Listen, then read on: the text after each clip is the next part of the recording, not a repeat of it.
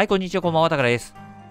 えー、先週、ドル安、円安トレンドというのがしっかり出てきましたんでね、えー、今週もこのトレンドをしっかり追いたいなと思ってるんですけども、円はちょっとまだ動きが鈍いですかね。一方でドルに関してなんですけども、このドルは買い戻しが進んでいます。えー、先週から見ていたトレンドとは逆の動きなんですね。まあ、これを単なる調整の買い戻しと見ていくのか、え波の反転と見ていくのかで、まあ、大きく意見が分かれてきそう。実際、まあ、チャートの方見ていても面白い場面には来ましたんでね、え今日はちょっとこう注目したいですね。この辺りをチャートの方から見たいと思います。えまずこちらがユーロドル、1時間足に冷やしを重ねています。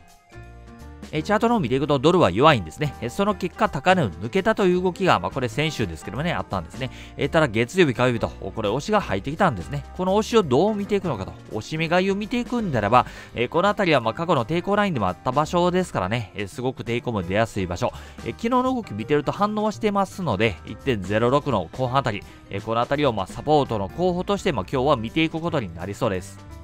ただ昨日一旦これサポートが強く意識されただけに、え今日再度売りが入ってきてしまった場合は、えこのような売りのトレンドが見えてくるわけですね。するともう一度この抵抗の中に潜り込んできてしまうことになるわけで、するとまここの部分ですね、これがまあ結果的に潰されてしまったということにもつながってしまう。我の重さというところにこう繋がってしまう可能性が出てきますんでね、えー、なのでこう押し目買いを意識していくんであれば昨日の安値、えー、これ大事なポイントになってきそうですね。はい、こちらが15分足、4時間消化されています。えー、過去の抵抗体、現在のまサポートとして効いている場所という判断でいいのかなと思いますけども、1.06の後半、えー、7万あたりですかね。えー、今はこう売りが強く入っています。まあ、これ調整の押しに今は過ぎないと思ってるんですけどね。え、ですから、まあ、このサポート、これが効いて、えこの辺りで調整の動きが出てくれば、え波の判定なんかもこう見えてくるかなと思うんですけども、まあ、メインシナリオは、えこういった上昇の押し目買いというのが入ってくるかなと思っているんですけども、問題が昨日のこのサポートですね。これ割り込んできてしまうと、売りのトレンド、波が見えてきてしまいます。まあ、いわゆるこう、押し目買いの失敗ということになって、まあ、買いの投げなんかも出てきやすくなると思うんですね。こうなってしまうと上位足で見ても上値の重さが見えてきてしまいますからこの辺り全体的な高値圏というのも意識されてきそうで、え買い横を見ていく押し目買いを見ていくんならこのサポートは割れてほしくないですね。昨日の安値1.06の70、えこの辺りをブルベの分岐点、え割り込んだら待っていたいともしくはこうショート目線で見ていくんならしっかり割ってくるのを確認と、まあ、昨日の安値すごくこう大事なポイントということに今日はなってきそうですね。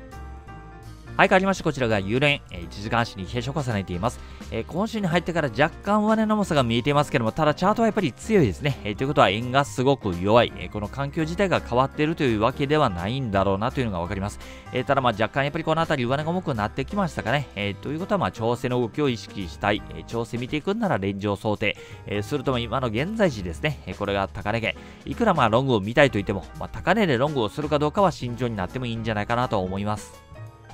まあ、一旦こう押しを待ってもいいと思いますしね、この押しをショートで見ていくというのも、まあ、一つのアイデアにはなってきますけども、ただかなり円が弱いですからね、ショートをしていくということは円を買うということですからね、そこをどう見ていくのか。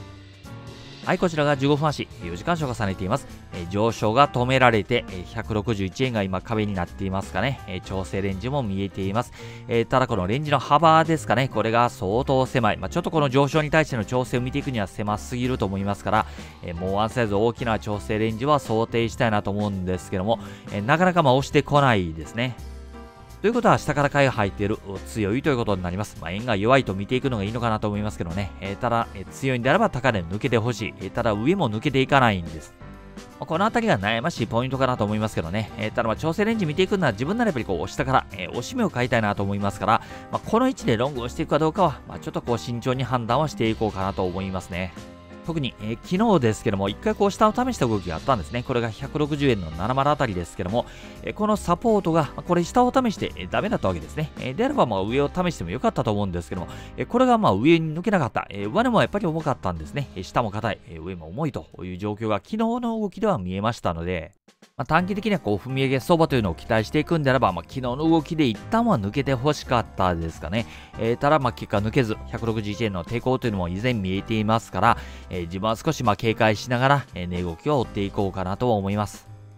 はい、変わりまして、こちらがポンドドル、1時間足に冷えを重ねています。これもまあドルが弱かったというのもあって、高値を抜けたんですけども、今週は調整の動きになってきています。まだまあ抵抗ラインにぶつかっただけで、まだこう崩れたとは言えない状況、サポート効いてくるならおしめ買い入っても良さそうな流れにはなっていますけども、ただ昨日のこの安値、これ割り込んでしまったら、売りのトレンドにもなってしまいますね。リバウンド入ってるだけに、サポート割れてしまったら、ちょっとロング勢にとっては苦しい状況にもなってきそうです。昨日、おととい、えこの辺りの売りに関しては、えまだ単なる調整の押しだろうと見ていくこともできたかと思いますけどね、え今日もこのぐらいの押しが入ってしまったら、ちょっと状況は変わってしまうと思います。はい、こちらが15分足、4時間賞を重ねています。上昇の押し目買いという形をね、まあ、イメージはしているわけですけども、まあ、流れは止まりましたね。サポートは少し見えたかなと、1.22の70あたりです。ただまあ昨日の S でも割り込んでしまったらもうこれで売りのトレンド波が見えてしまいますね。えー、この辺りは、えー、ブルビアの攻防分岐点というところで、え、レンジにもなりやすいかなとも思います。あとはもう上位エッシュの環境をどう見ていくのかですね、強いと思うなら、まあ、下から買いたいわけで、え買っていくんなら、まあ、レンジの上では買いたくないですね、え下から丁寧に拾っていく。逆にまあ上値の差を見ていくんであれば、まあ、ちょうど今のあたりですかね、このあたりはまあ抵抗にもなってきそうな場所ですからね、まあ、このあたりで一旦こう打ってみると、えそしてまあ抜けてしまった時にまあどうするかというのをしっかりこう考えていくということになってくるかなと思います。僕はまだこうドルの弱さを見てますからね、えー、押しめ買いというのは意識したいと思いますけども、昨日の S 値を割り込んでくると、まあ、相当警戒心は強く見ていくことにはなるかと思います。はい、変わりまして、こちらがポンド円、1時間足に継承がされています。これもま円がとにかく弱いですね。上昇トレンドが見えてはいます。ただ今週、やっぱり上値が重いですね。流れが止まっています。185円の真ん中あたりはすごく抵抗になっている場所。ということは、ま調整局面見ていくわけで、高安の把握というのがすごく大事になってくるわけですけども、まだこの下のサポートはちょっとまだ見えてないですかね。波の起点が183円の5丸あたりを見てますから、まあ、これ割り込んだのも全然環境変わりますからね、まあ、ここをまあ一旦の大きなサポートと見ていくわけですけども、今はその手前で、えもう少し小さな足場なんかを作り出しています。えこの足場の決着というのを今後は見ていくことになりそうですね。はい、こちらが15分足、4時間足を重ねています。単形視見ていくとすごく綺麗なチャートですかね、上昇トレンドも見えていて、現在は流れが止まって調整局面。短期足だと、ある程度こう高安も見えてるかなと思います。高値、これが185円の70とか80あたりですかね。一方で安値、これが184円の70あたり。現在地はまこのレンジの安値圏ということで、まあ、サポート見えてくるんならね、まあ、1回ロングを見ていくのもありなのかなと思います。そして上位足の環境を見ていくと183円の50というのが一つの大きな抵抗になっていそうでね、まこれ割り込んでくると、まあ、ガラッと上位足の環境も変わってきそうということで、まあ、ここが大きなブルビアの分岐点ですかね。えですから今見えてるサポート多少割り込んだところで、まあ、大きくこう環境が変わってくるわけではないと思うんですけども、ただまあこれ割り込んでしまったら短期の下落トレンドがこう見えてしまいますからね、えー、波の反転見ていくのはちょっとこう難しくなってしまいます。えー、押し目買いというのをこう意識していくんなら、まあ、昨日の S では割り込んでほしくないところですけども、これがどうなるかですね。今週は流れが出てないですけども、先週はすごくいいトレンドが出てましたからね、えー、まだこう押し目買い、円の弱さは変わらず見ていこうかと思います。えただ昨日のですね、割り込んだ際には注意は必要ですね。はい、変わりまして、こちらが5ドルドル、1時間足に継承がされています。昨日5ドル、成績に発表があったんですね。まあ、結果としては、ま市場の期待に、届かずというところで、5ドル、ま、かなりこう売り込まれました。ただ、この11月に入ってから5ドルって相当強かったんですね。まあ、売りは入りはしましたけども、11月のこの5ドル買いの流れっていうのが、完全に崩れたわけではないと思うんですね。チャートの方見ていくと高値が抜けてきています。上昇の、まあ、押しが強く入ったわけですけどね。ただまあ過去の抵抗ライン、今回、下冷えをつけたりもしていますけども、0.64の3丸あたりというのは、すごく抵抗にもなりやすそうな場所で、しっかり買い物入ってるんですね。今月に入ってからの5ドルの強さ、ここにも注目をしていくんであれば、まあ、いい押し目買いポイントにはなってくるかも。ただまあ今日売りが入ってしまったらね、まあ、押し目買いポイントですから、まあ、押し目買いの失敗ということにもなってしまいますから、えこうなるとまあ強く売りは意識されてきそうで、まあ、今日買いが入るかどうかは大きなポイントにもなっておきそうです。はい、こちらが15分足、4時間消化されています。えー、単形見ても分かりやすいサポートも見えてますね。0.64の203あたり。えー、だからこそ、再度ここを割り込んでしまうと、まあ、売りも強く意識されてくる、押し目買いの失敗という形も出てきてしまいますんで、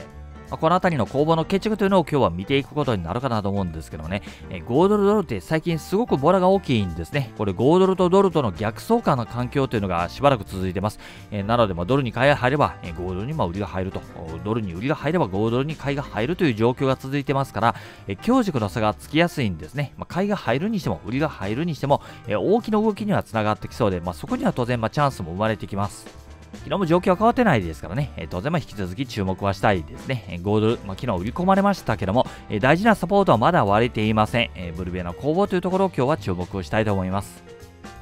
はい、変わりまして、こちらが5ドル円、1時間足に傾斜を重ねています。5ドル、まあ、昨日かなり売り込まれましたんで、まあ、大きな売りが入るのはまあ仕方がないですね。ただ、チャートの方を見ていくとかなり強いんですね。確かに売りは入りましたけども、これでまあチャートの崩れを見ていけるかどうかというと、少しそこは自分は疑問が残りますね。もし売りが入ってくるなら、僕ならまずは調整を疑います。調整ですからね、こう買いが入ったり売りが入ったりしやすくなるんじゃないかなと思うんですね。昨日若干ま下冷えつけたりもしていますけども、こういったところはやっぱり抵抗として強く意識されてくることになりそうで、現在時もレンジになってくるんであればですけどね、やっぱり安値圏ということにもなってきそうでね、この位置から売っていくというのは少しまリスクは大きいかなと。まあもちろんこれ割れたらいいんですけどね、まあ、割れなかった時にサポートの強さは意識されてきそうで、ショートしていくんであればそこは注意ということになってくると思います。あとはロング目線で見ていくんならば、まあ、一旦サポートは見えましたんでね、えレンジの下から上までとか、えロングを見ていくのもありだと思いますね。はい、こちらが15分足、4時間所重ねています。過去のサポートラインにぶつかって流れが止まっています。昨日大きな売り入りましたけどね、やっぱりこう意識されているだろうなと。ということはサポートラインですから、この辺りをレンジ、高値圏、安値圏と見ていけば、現在地はまだ安値圏かなと。売りを見ていくんならやっぱり割れてほしいですね。ただまだ割れてはいませんから、まあ、そこをどう考えていくのかというところになるかなと思います。まあ、僕はそもそも円の弱さ見てますからね、上昇みたいなと思いますから、こういったところは、まあ、いいおしめかなと思いますけども、ただ昨日見えたサポートを割り込んでしまったら状況変わってしまいそうでね、えこの96円の真ん中、え50あたりをブルベイの分岐点として今日は見ていこうかと思います。え強いんであれば、まあ、きっとこの辺りはサポートされてくるだろうと、え弱いんであれば、ま、割り込んでくるだろうというところで、ま、ショートを見ていくんであればですけどね、こういった割れる動きに注目はしたい。今のこの現在地はトレードしていく上では、えー、面白いところにいると思いますんでね、まあ、これはしっかり見てはいきたいですね。はい、ということで、えー、最後にま泥の動きを見て終わりたいと思いますけども、このサポートを割れたというこの動きをどう見ていくか、まあ、これが意見が分かれるところかなと思います。えー、僕は戻り売りみたいですけどもね、えー、昨日、おととい、えこの辺りはまだ単なる調整の戻りに過ぎないかなと思いますけども、えまあ、そろそろま過去の抵抗ラインにもぶつかってます。え昨日も上髭つけてますからね、ま、反応はすごくしてるんですよね。だからこそですよね、まあ、売りを見ていくというのも一つのアイデアですけども、だからこそ、この高値を抜けてきてしまうと、ショート勢にとってはもう苦しい状況になってしまうということにもなりますから、そういう意味でも今のこの現在地、え今日の位置というのはすごく面白いところにいますよね。すごく攻防も出やすいところになると思うんですね。えドルのブルビアの攻防というところを今日は注目したいと思います。今回は以上になります。ドル円やドルインデックス、株式については別動画になっていますので、参考にしてください。それでは今日も頑張っていきましょう。